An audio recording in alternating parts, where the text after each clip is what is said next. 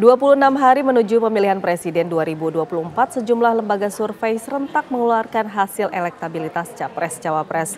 Pasangan nomor urut 2 Prabowo Gibran berada pada puncak berdasarkan LSI Deni JA dan indikator politik. Bahkan versi LSI Deni JA, Prabowo Gibran hanya kurang 4 persen untuk menang satu putaran. Lantas apakah angka-angka survei itu bakal jadi kenyataan? Dan bagaimana peluang Capres-Cawapres yang masih tertinggal berdasarkan hasil lembaga survei?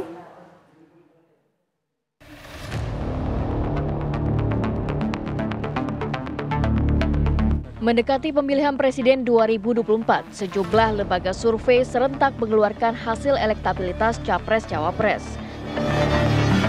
Lingkaran Survei Indonesia Dini JA, tren elektabilitas pasangan calon nomor urut 2 Prabowo Subianto, Gibran Raka Buming Raka terus naik, bahkan hanya kurang 4 persen untuk menembus angka 50 persen.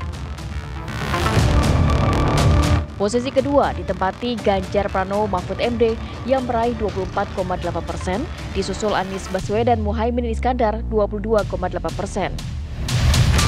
Lembaga survei indikator politik yang melakukan simulasi tiga paslon mencatat pasangan Prabowo Gibran unggul signifikan dari Anies Imin dan Ganjar Mahfud. Prabowo Gibran meraih 45,8 persen. Anies Muhaimin dipilih karena pintar, slogan perubahan, dan bukti hasil kerja. Eh, peta elektoral jelang Pilpres 2024, satu yang kita bisa simpulkan secara konklusif adalah Prabowo Gibran menempati peringkat teratas dengan selisih antara 02, 01, 03 signifikan secara statistik. Tetapi kita belum bisa mengambil kesimpulan bahwa pemilu bulan depan akan berjalan dalam satu putaran karena Prabowo Gibran meskipun unggul sangat jauh dengan selisih 20 persen, tetapi secara absolut suaranya belum menyentuh 50% plus satu. Nah itu kesimpulan yang pertama. Kesimpulan yang tidak konklusif. Yang kedua adalah ini kembali e, menegaskan e, yang pertama yaitu selisih peringkat kedua dan ketiga terutama jika tidak terjadi satu putaran kita juga tidak bisa mengambil kesimpulan yang meyakinkan siapa yang akan mendampingi Prabowo Gibran di putaran kedua. Karena meskipun Mas Anies sudah menyalip Mas Ganjar, tetapi secara absolut selisih Mas Anies dengan Mas Ganjar itu dalam margin of error. Artinya bisa jadi Mas Ganjar berada di peringkat kedua atau sebaliknya Mas Anies yang ada di peringkat kedua. Uh, hampir beberapa lembaga survei yang mengeluarkan data di awal Januari itu menunjukkan hasil yang sama ya bahwa posisi pasangan 02 berada di atas dengan selisih kurang lebih di atas 20% ya. Hasil kita juga mengkonfirmasi hal yang hal yang sama ya. Ada sekitar 21% selisih antara pasangan 02 dengan pasangan terdekat yang saat ini ditempati oleh pasangan Ganjar uh, Ganjar Mahfud ya. Hmm. Yang kedua, kalau kita lihat tren memang kita punya dua kali survei tatap muka setiap bulan ya dan kalau kita bandingkan dari awal Desember 2023 ke awal Januari 2024 itu ada kenaikan sebesar 5,4 persen dari elektabilitas pasangan 02 dibandingkan dengan survei sebelumnya. Jadi kalau kita lihat tren memang uh, ada tren kenaikan. Oleh karena itu dalam rilis kita kemarin uh, kita menyatakan bahwa ada potensi satu putaran kalau kemudian uh, pergerakan atau kenaikan elektabilitas dari pasangan 02 itu mengal uh, dalam dalam kenaikan yang sama, dalam angka yang sama kurang lebih 5%. Oke, Karena dalam satu Lalu akankah kasak kusuk menang satu putaran bakal jadi kenyataan? Bagaimana dengan peluang capres-cawapres yang masih tertinggal berdasarkan lembaga survei?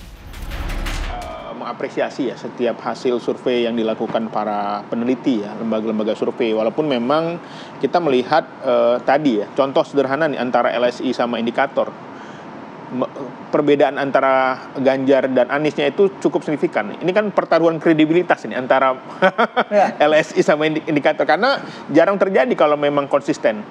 Ini menunjukkan bahwa ini masih sangat dinamis. Ya, ingat dulu Pak Anies di Pilgub DKI Jakarta, dulu juga Pak Ridwan Kamil sama sama Pak Ahmad Saihu juga uh, juga yang awalnya 10% bisa sampai 22%, 21%. Jadi menurut saya memang uh, kami melihat sangat dinamis. Tetapi uh, faktor kemenangan itu kan banyak hal ya. Tetapi uh, kami tadi ada undecided juga masih banyak ya. Kemudian dia swing voters Yang ketiga jangan lupa blunders. Oh dari kami ya pastinya cukup happy ya, tapi memang kita tahu bahwa survei itu adalah indikasi untuk kondisi saat ini dan masih ada sekitar 30-an hari kan untuk berjuang uh, sampai tiba di TPS. Uh, saya setuju dengan maaf ini nama saya salah ya, eh, bukan pakai S, pakai Z. Tolong uh, charge-nya dibetulkan.